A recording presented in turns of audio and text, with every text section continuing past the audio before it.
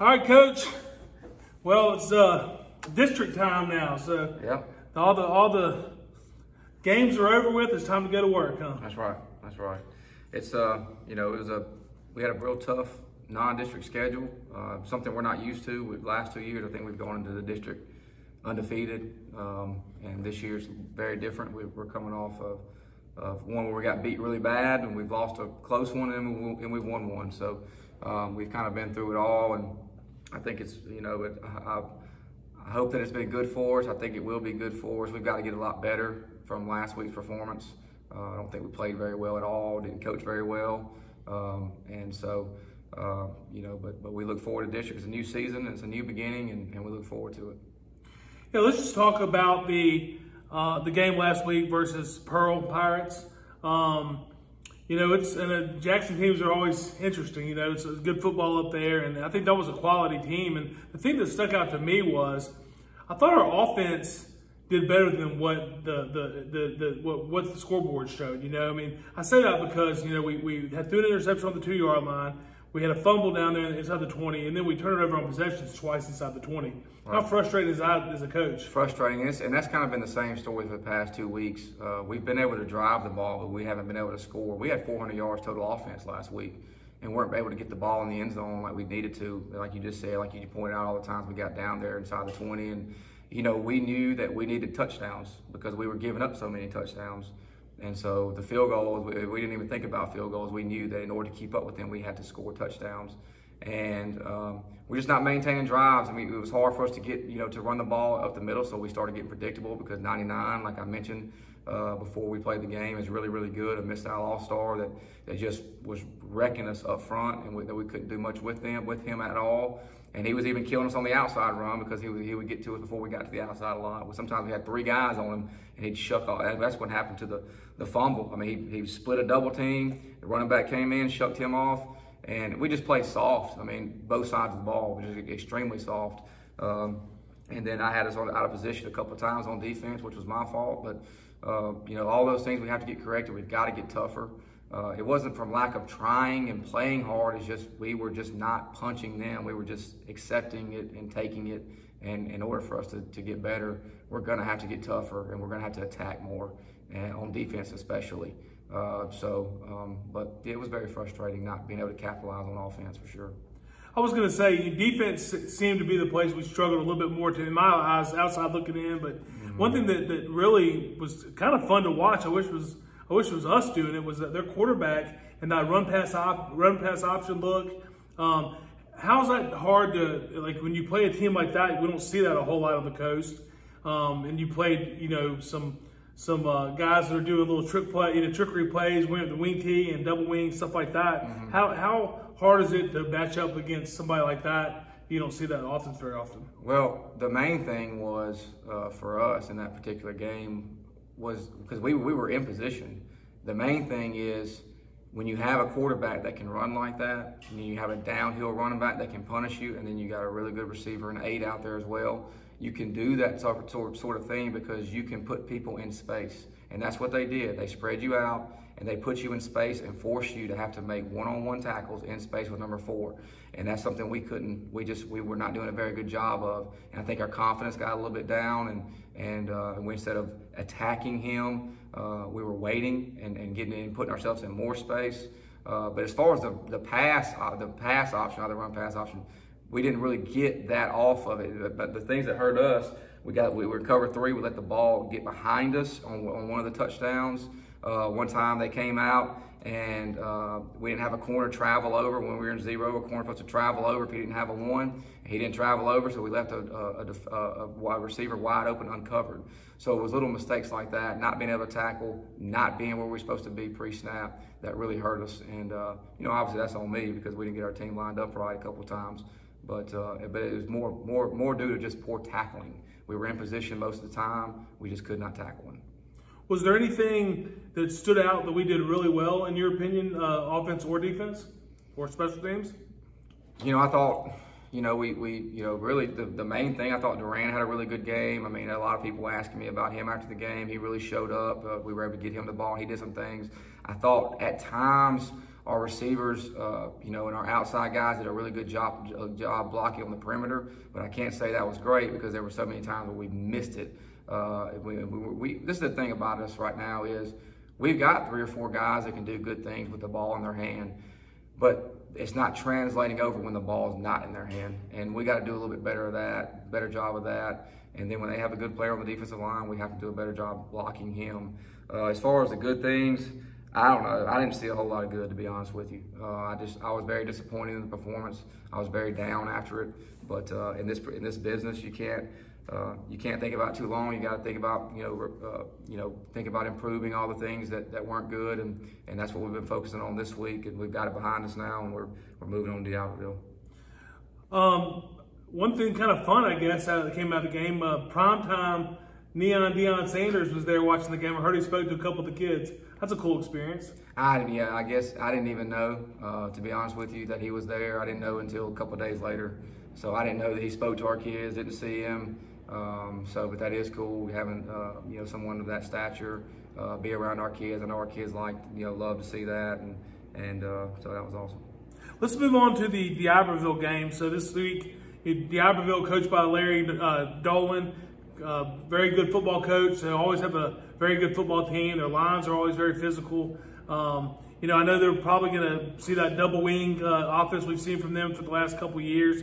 They got a couple, you know, a couple good studs. Number 16, the quarterback Garlot, and then number nine, the running back Lenore. What are you uh, expecting to see from them, and then how do you think we're going to match up? I expect to see them run it right downhill at us. That's what I expect to see. Um, that's what they've done to us for the past two years. We haven't done a great job with it. We haven't done a great job with it thus far this year. Uh, so we're going to have to make some changes. We're going to have to do some things. We're going to have to get a little bit more risky and get our guys in the box and get downhill. Uh, that's just what we have to do. We're not a team that can that does very well when we sit back. It seems uh, so. You know we'll have to do some things different. That's for sure. Um, they are very physical up front, like you mentioned. Um, and we, our defensive line cannot get knocked back into our linebackers, uh, and our linebackers got to get off blocks. That's just what it comes down to it. I mean, they're going to take us to the play most of the time uh, with their guards and, and, things like that, with a lot of leads and a lot of powers and counters. They do try to unbalance you, so we're going to have to do a better job getting lined up right, uh, which we've been we've been really stressing and heavily working on. Uh, but but they but they they are they're a team that what they, their identity has been is they mash you and they're tough and uh, you know they got a good. You know, obviously you mentioned number nine, uh, very good. I think he's leading the 6A in rushing yards right now at the moment. I think is what I saw uh, recently. Uh, but you got to remember, you know, Colton DeShazo, the 12, he, he, he, played tight end for him last year. He's, they got him back there running back sometimes, moving the tight end, moving the wide out. Uh, they move him around because he's, he's very fast. He's, you know, a four or five guy. He's big. He can block. He can catch. Uh, and when they when he when they can get it to him, he does really good things with the ball. So they got a couple guys, uh, more guys that they get the ball to. Cole Davis, uh, Caleb Williams also comes in. Those guys, you know, I know a lot of people from Biloxi may know these kids, so um, they do a good job. That's, that's, all it is to it. And, and we got to get lined up, and we're going to have to attack them. You know, we, we can't sit and wait. Our guys are going to have to attack them and uh, get our hands on them and, and move and try to move them around. That's just what it comes down to you know, you, you, mentioned them running the ball against us the last couple years. I looked at the stats before I came in 162 carries, 12 passes so far on the season. So yeah. that's what they're going to do to everybody. I think they threw it three times last week. Um, so yeah, that's what they do. I mean, they, you know, they try to get three to four yards a pop, and if you don't, if you don't continue to bring it each and every play, if you get soft on any play, at any moment, if you start feeling sorry for yourself or you get soft, that's when they bust you for a big play. So our kids can't do that. Our kids are going to have to be tough. Uh, we have it in that we have it in us. I, I, fully believe that. I've seen our team play good. I've seen our team uh, through practice in the summers be tough, and we're going to have to do that. So. All right. Well, let's move. Just talk about the district a little bit. Obviously, it's it's kind of hard to tell. Everybody coming coming off their non-district games, um, but you know, Ocean Springs. You know, it looks like the big dog. You know, D'Iberville had a huge win last week against Picayune. Um, I didn't run through this real quick, but Picayune uh, 27-13 to beat Jeff Davis 27-17. Petal, which is always a quality program, they put 48 up on them. They won 48-26, and they beat Moss Point 12 to nothing. So that's D'Iberville. Uh, Ocean Springs obviously had a huge win against George County a couple weeks ago. They were off last week. Uh, Harrison Central is another team that I know they've got some personnel issues or uh, challenges right now, but where, where, do you where do you see us? We kind of go into the district. I know we we took one game at a time. I get it, but as you look at our district right now, I mean, you feel like we could play with uh, with all these boys? I feel like um, we're capable of it. I definitely feel like we're capable of playing with all of them.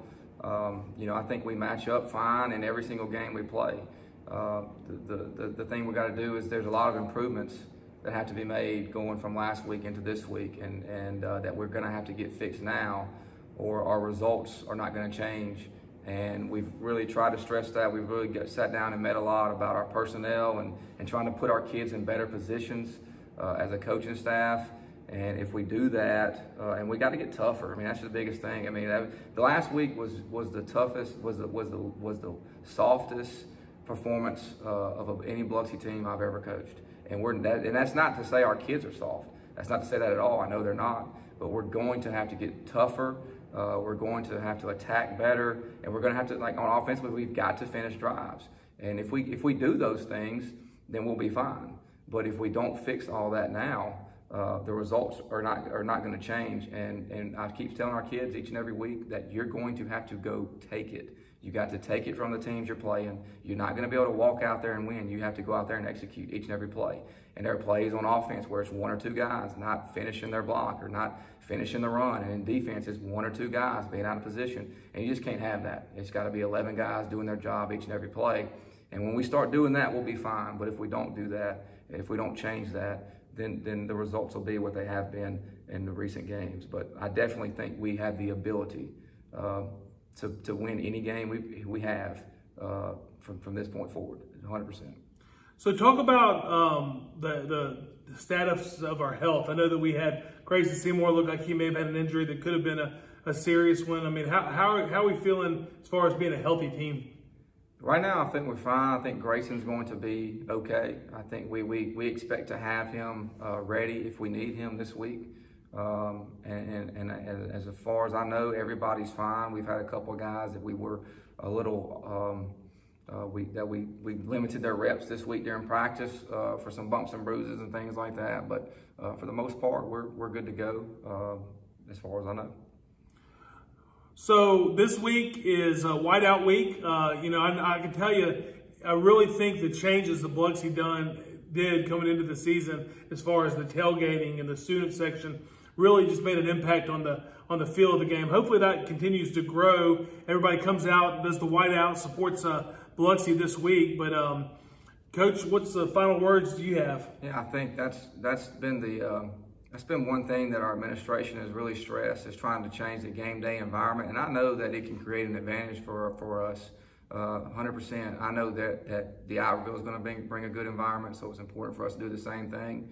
I expect our kids to come out with a great attitude and, and, and be a lot more physical this week. And I expect a, a great game out of the Indians, and, and we hope to have all your support. Thank you.